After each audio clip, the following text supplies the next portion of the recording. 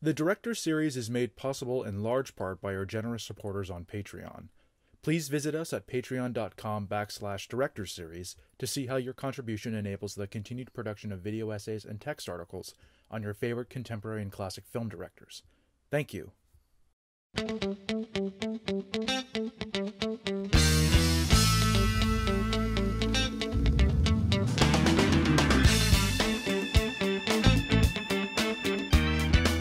The success of Hard Eight had enabled its young director, Paul Thomas Anderson, with access to development executives at New Line Cinema, who wanted to help him make his follow up.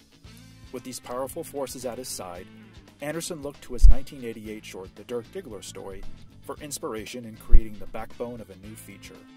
He fleshed this little nugget of an idea out into Boogie Nights, a sprawling meditation on the San Fernando Valley's pornography industry over two decades of success and upheaval. So what I'm trying to tell you, Eddie, is that it takes a lot of the good old American green stuff to make one of these things. You know what I mean? Boogie Nights begins amidst the glittering disco lights of 1977, before the specter of AIDS took away the notion of free love without consequences and spurred heavy government regulation on the porn industry. Despite dealing with such lurid subject matter, Anderson manages to find a peculiar kind of dignity and grace within his characters. He shows us that pornographers are people too, just as capable of real love as we are. Before Boogie Nights, Mark Wahlberg was simply known as Marky Mark, a young rapper with a few unimpressive film credits to his name. But the role of Eddie Adams, stage name Dirk Diggler, established Wahlberg as a genuine acting force that persists to this day. Burt Reynolds is inspired casting as Jack Horner, a director of exotic pictures and the patriarch of his own little porno family empire. Like John Travolta and Quentin Tarantino's Pulp Fiction, Reynolds' against type performance resulted in some newfound cultural relevancy after a long spell of waning popularity, eventually culminating in an Oscar nomination for his performance. Ironically, Reynolds reportedly hated the character and didn't get along with Anderson during filming. He even went so far as to fire his agent for recommending the role to him. I wanted you to come in and give me a minute so I could tell you how much I love you. I mean, it's to be a new year and we're to start things and, and do things. And, and I just wanted you to know how much I care about you. I really care about you, honey. You're my little baby. Julianne Moore counters the two-fisted machismo of Wahlberg and Reynolds as Amber Waves, Horner's wife and a mother figure to Dirk. She's heartbroken over her real son being taken away from her by child services, so she turns to Dirk for a surrogate relationship one that becomes incestuously sexual. Moore turns in one of her most poignant performances here as a conflicted, inherently sad woman with deep reservoirs of unconditional love, walking away with an Oscar nomination of her own for her efforts. Boogie Nights also establishes Anderson's close knit repertoire of performers, actors who have come to regularly appear in his films throughout his career. These include Luis Guzman as a nightclub owner and porn star wannabe, John C. Reilly as Dirk's doggishly loyal friend and co-performer Reed Rothschild, William H. Macy as the disgruntled, cuckolded assistant director, Ricky Jay as the droll cinematographer, and Philip Baker Hall as Floyd Gondoli, a smug rival of Horner's and the personification of the encroaching malevolence of videotape. On the female side, there's Melora Walters as a sweet and naive porn actress, and Heather Graham as the plucky, somewhat ditzy roller girl. Further rounding out the cast is Don Cheadle as urban cowboy Buck Swope, Thomas Jane as cocky bad boy Todd Parker, and Bob Ridgely, who starred as Jack Horner in the Dirk Diggler story, and makes his last film appearance before his untimely death here as the Colonel, an eccentric dandy and a financier of Jack's films. And last but not least, there's the late Philip Seymour Hoffman, Anderson's closest acting collaborator. Hoffman leaves behind an enduring legacy of masterful performances, one of which is found in Boogie Nights' Scotty J, a sexually confused and awkward boom operator who carries an unrequited torch for Dirk. Boogie Nights is the work of a young, ambitious filmmaker with bottomless reserves of zeal and talent. The tone is a distinctive blend of the multiple perspective affectations of Robert Altman and the volatile kinetic energy of Martin Scorsese and Jonathan Demme. Hard Eight cinematographer Robert Elswit returns to shoot the film in the true anamorphic aspect ratio of 235 to 1, achieved this time via actual anamorphic lenses, and not a workaround like Anderson and Elswit had done for Hard 8.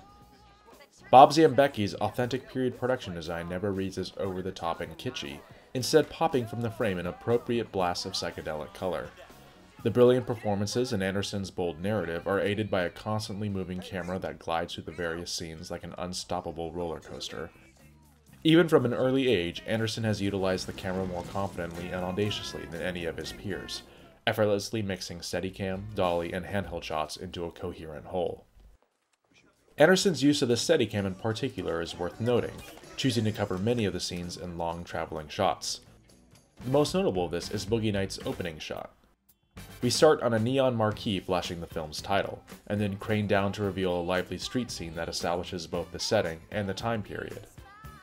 Then, without skipping a beat, the camera operator steps off his platform on the crane and then enters Guzman's nightclub as Anderson introduces us to all the major players of the story in one unbroken take, a la Altman's iconic opening to the player.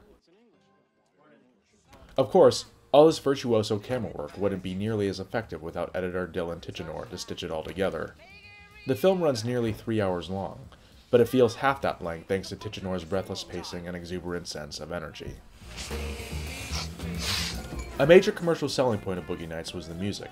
Specifically, the glut of 1970s and 80s pop hits that likely moved more copies of the soundtrack CD than the actual film itself. Anderson's ear for music is spot on, using several well-known cues in interesting ways that sell the authenticity of the period. The characteristic indulgence of the era is reflected in the glitzy needle drops, oftentimes creating an association between song and picture that becomes forever joined in the mind. One instance of this is a scene where Alfred Molina's drug dealer character sings along to Rick Springfield's Jesse's Girl during a particularly foreboding business exchange. It's an unbearably tense sequence and a masterclass in direction even without the music, but its inclusion transforms the scene into a truly transcendent moment. For the score, Anderson recruits Hard Eight's Michael Penn, who bases his musical palette around an inspired conceit a circus The film opens against black with a somber dirge that sounds like a sad clown flailing around under the big top. A theme that reprises itself later on as a motif signifying Jack Horner's little family unit. The strange carnivalesque nature of Penn's score reflects Anderson's bizarre yet touching display of humanity, while highlighting the hidden similarities between two decidedly different performance based occupations. Several of Anderson's thematic preoccupations are present here, coalescing into an identifiable set of tropes. As a member of the first generation to come up under the rise of video, Anderson's incorporation of the medium is more involved than any other filmmaker of his ilk. In Boogie Nights, the arrival of the video format itself becomes a major plot point, throwing the porn industry into a state of massive flux, and becoming a fulcrum for conflict between Reynolds and Hall's characters. Videotape highlights these two characters as ideological opposites, fighting a war that pits economics versus artistry, a conflict that can be argued to encapsulate the film industry as a whole. To the characters of Boogie Nights, video is a harbinger of doom and betrayal. Its arrival coincides with the fall of Dirk Diggler and Jack Horner, the fallout on their professional and personal lives being akin to a devastating meteor, or a nuclear bomb. Boogie Nights shows remarkable prescience in its insights into video's role in the motion picture medium. We're still having the film versus video argument today, although now the two mediums are virtually indistinguishable from each other. Because Anderson's films very rarely have life or death stakes, the driving force in the emotional drama stems from the theme of family, specifically the threat of abandonment or loss. Boogie Nights places this dynamic at the core of its story, presenting Horner's filmmaking crew as a legitimate family, sharing in each other's little life moments and cheering them on at weddings and award shows. Anderson also shows us how Dirk Diggler's abandonment of his adopted family leads to ruin. At the end of the day, he saves himself by crawling back in shame to Horner's patriarch figure. Jack? Sorry, In ending his story in this fashion, Anderson has created a prodigal son fable for the 20th century. It's a parable that illustrates the conceit that tragedy will ultimately befall those who choose to permanently turn away from family. Anderson's films often set their stories in his home state of California, and Boogie Nights, perhaps more so than his other works, could not have taken place anywhere else but the Golden State. The San Fernando Valley, just north of Los Angeles, has served as the epicenter of the porn industry since its inception. Just like porn plays the red-headed, swept under the rug stepchild to the Hollywood film industry, so too does the valley sit offset from Los Angeles, stigmatized and dismissed because of its sleepy suburban airs. Like it or not, the port industry is very much a part of Southern California's cultural heritage, So who better to paint its portrait than Anderson, the great cinematic chronicler of California himself? Boogie Nights is also perhaps the most frank look at another of Anderson's key recurring themes, that of sexual dysfunction. Hard Eight and Boogie Nights both flirt with sex as a paid profession, with the former's emotional tension stemming from the troubles of Gwyneth Paltrow's weary hooker Clementine, contrasting with the latter celebration of sex on camera as an act of liberation and expression. This also highlights a strange double standard when it comes to paid sex. The presence of the camera, for whatever reason, is the final arbiter between what is legal and what is not. The characters of Boogie Nights come to depend on their sexuality, as if it were a drug. Towards the end of the film, Dirk Diggler is back to where he started, reduced to jerking himself off in front of strangers for a couple bucks. For others, like Cheadle's Buck Swope, their past as porn stars hangs like a noose around their necks, impeding their progress in real world pursuits like starting a family or taking out a business loan. We can't help you. Boogie Nights caused quite a stir when it was released, with high praise from prestigious film festivals like Toronto and New York, leading to three Oscar nominations, one of which being a screenplay nod for Anderson himself. The film was a breakout hit, its success arguably fueled by a bout of 70s nostalgia that was pervading pop culture at the time. Thankfully, Boogie Nights' legacy has outshined the trends of its day, enduring to become one of the best films of its decade, and ensuring Anderson's future as a major new talent on the scene. During the period between the release of Boogie Nights and his sprawling follow up, Magnolia, Anderson branched out into other forms of cinematic expression. He did what many filmmakers do between features to pay the bills shoot commercials and music videos. However, unlike other directors, it can be argued that he wasn't exactly doing for hire work.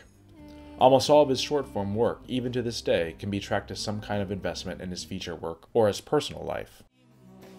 For instance, his first music video was made for Boogie Nights composer Michael Penn to promote his single Try. The video was shot almost entirely in secret, with Anderson, Penn, and co producer JoAnne Sellar stealing away during Boogie Nights' post production for a couple hours. They shot in what is allegedly the longest hallway in America, located somewhere in downtown Los Angeles. The video follows Penn in one long Steadicam take as he sings to camera and marches through various vignettes. The piece is indicative of Anderson's mastery of the camera and sense of movement, as well as his confidence with a Steadicam rig. Complex moves are pulled off with a dance-like grace that makes the entire piece look effortless. Anderson is known to be somewhat of a mischievous director, and Try follows suit with a cameo by Philip Seymour Hoffman as a slobby sound recordist. The success of Boogie Nights led Anderson into an echelon of celebrity that he scarcely could have envisioned himself in only a few years prior. He started dating singer songwriter Fiona Apple, a relationship that birthed a small run of enchanting music videos. The first of these was for Apple's cover of The Beatles Across the Universe, a track commissioned for director Gary Ross's film Pleasantville. Anderson adopted Pleasantville's black and white mid century aesthetic for his video, but adds a twist all his own. Conceived as a series of long takes, Apple sings to camera while hooligans in Letterman jackets trash a diner in slow motion behind her. Across the Universe is a deceptively simple piece, with expertly executed camera movements that give no trace of the complicated rigging and blocking required to achieve such shots. For instance, in the opening shot, we track in directly on Apple, but we don't see the camera in the mirror behind her, when common logic dictates we should. The piece is filled with little how they do that flourishes like this, and like Michael Penn's try before it, includes a cameo from one of Anderson's repertory performers in the form of John C. Reilly as a suit stealing music from the jukebox. In 1999, Anderson made his second music video for Apple for her song Fast As You Can. It's a much simpler piece, with Fiona performing straight to camera, locked into very precise compositions. While the video is straightforward and uncomplicated, Anderson does add various visual obstructions to the frame, like smudges and smears on the lens in a bid to make things a little more interesting. Anderson's third video for Apple covered her song Limp, and takes place in a dark mansion as a lovesick Apple roams the house, unable to sleep. The piece is full of the graceful, fluid camera work that Anderson is known for, but he counters the elegance by chopping it up into a series of staccato, rapid fire edits as the song's intensity builds. The runaway success of Boogie Nights resulted in New Line Cinema gifting Anderson the opportunity to do anything he wanted as his next project. Knowing he'd never again be in this enviable position, Anderson decided to go for broke and make a passion project that he described as the all time great San Fernando Valley film. In plotting out his story, Anderson tapped into great reservoirs of creativity and inspiration. What started as a small, offbeat character piece soon blossomed into an all encompassing statement on loneliness, regret, and chance in a small patch of suburb just north of bustling Los Angeles. Magnolia sees Anderson step ever more firmly into Robert Altman territory by weaving together several disparate threads and slowly pulling them taut to reveal a tightly woven tapestry of life, love, and loss. Simply put, it's the magnum opus of Anderson's early career, capping off a long fascination with sprawling ensemble based stories. Can I tell you something? Yeah, of course. I'm really nervous that you're gonna hate me soon. You're gonna find stuff out about me and you're gonna hate me. The central conceit of Magnolia is that the film's story unfolds along a stretch of the eponymous street, located in the San Fernando Valley, purportedly all within a span of a few square miles. The idea is to communicate the range of humanity that can occur in such a small amount of space, and how we're more connected than we think. As the film unspools, several story threads draw closer together, the major events rippling like waves through the narrative. Magnolia explores ideas about chance and coincidence, comparing them against the larger, predetermined arc of the universe. In a move that's both inspired and utterly baffling, Anderson uses a counterintuitive image to state his case a random, inexplicable downpour of frogs, materializing as if from nowhere and hurtling towards the earth with biblical fury. The film goes to great pains to suggest that these seemingly random events might just be the opposite, and that our fates may indeed be as preordained and unforeseeable as a sudden hailstorm of amphibians.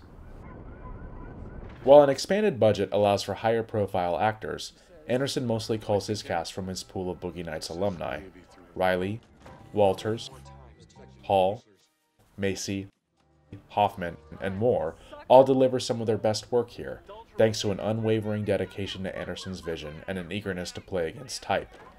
Magnolia is perhaps the most definitive example of Anderson's company of actors, featuring supporting performances from Luis Guzman as an irritable and impatient contestant on Jimmy Gator's game show, Ricky Jay as the show's producer and omniscient narrator during the film's prologue and epilogue, Alfred Molina as a Persian furniture store owner, and even Thomas Jane as a young Jimmy Gator. Of the new talent, Jason Robards gives a heartbreaking performance in his final film role as a man besieged by regret at the end of his life. Hollywood superstar Tom Cruise was nominated for an Oscar in what is generally considered a career best performance, as the steam stealing chauvinist who uses bravado and machismo to bury his crippling daddy issues. Magnolia is the kind of film that lives or dies off of its performances, and thankfully the collective efforts of Anderson's brilliant cast help the piece soar to exhilarating heights. Magnolia is not as visually stylized as Anderson's previous work, but he still manages to achieve a larger than life feel thanks to returning cinematographer Robert Elswit's virtuoso camera work. The film's aesthetic is textbook Anderson, a 235 to 1 anamorphic frame given vigor and color by a mix of confidently executed dolly, crane, steadicam, and handheld compositions. Like Boogie Nights before it, Magnolia uses long tracking shots to convey space and time, pulling its characters along their cosmic journeys. Elswit and Anderson find the opportunity to experiment with different film stocks and cameras and Magnolia's bookending chance or fate sequences. A highlight being Anderson's use of an authentic, hand-cranked Pathé camera to simulate the look of old silent pictures. With Magnolia, Anderson's regular editor Dylan Tichenor has his work cut out for him in keeping track of all these disparate story threads.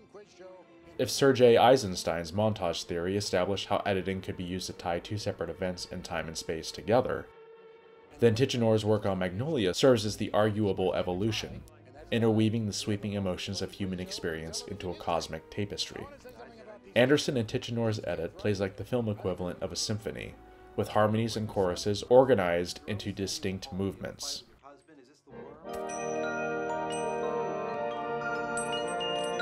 The movements themselves are distinguished via an inspired intertitle conceit that, instead of conveying the passage of time, notates changes in weather and humidity. It's an interesting idea that we'll certainly never see the likes of again, further evidencing Anderson's unique worldview. Magnolia is the first of Anderson's films not to feature the work of composer Michael Penn, but he does retain musical continuity in the form of Penn's wife, Aimee Mann, and Jon Brion. Brion's score in particular is worth singling out, as he has created a brooding suite of orchestral cues that are once both foreboding and elegiac, giving the necessary weight to the burden that Anderson's characters must carry. The score ducks and weaves throughout the piece, oftentimes playing against or running under diegetic source tracks from Mann and Supertramp.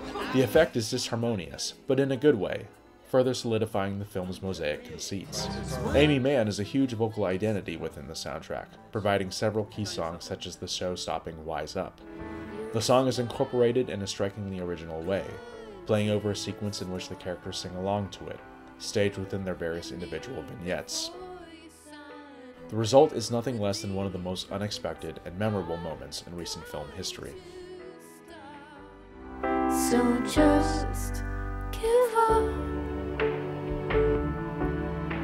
The medium of video played a huge role in shaping Anderson's early worldview, like it did for several filmmakers of his generation. However, his treatment of the format undergoes something of an evolution throughout his filmography.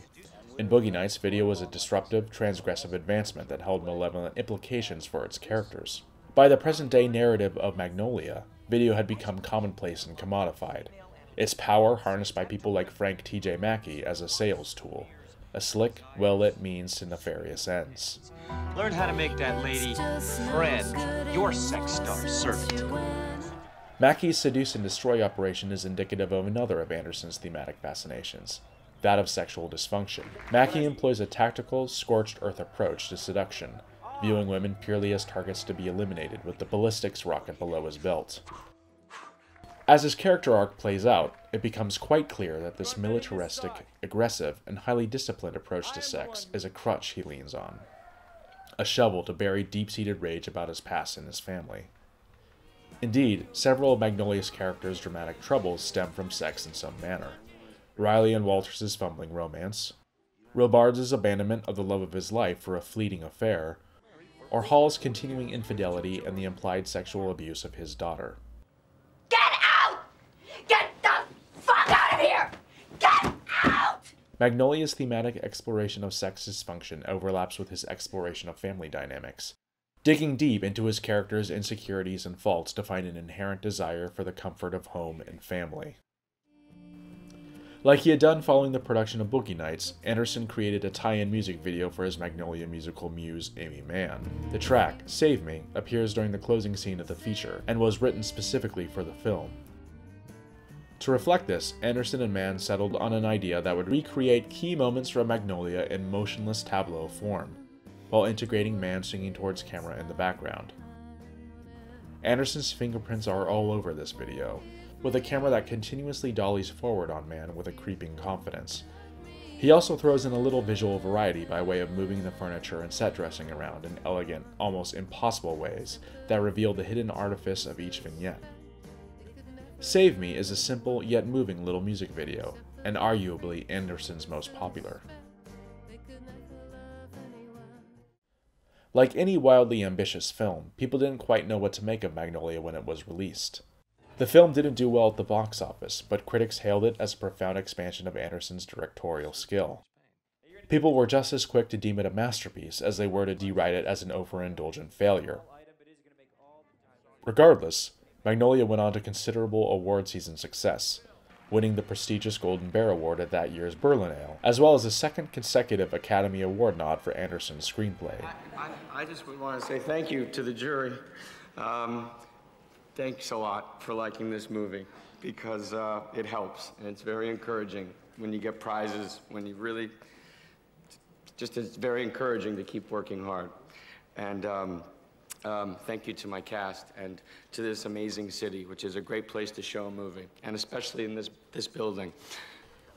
With the release of Magnolia, Anderson had arguably reached the peak of his capabilities within this particular set of stylistic conceits. He had gone from the boy wonder who took Sundance by storm to the preeminent chronicler of California's weird and wonderful fringes, and all before his 30th birthday.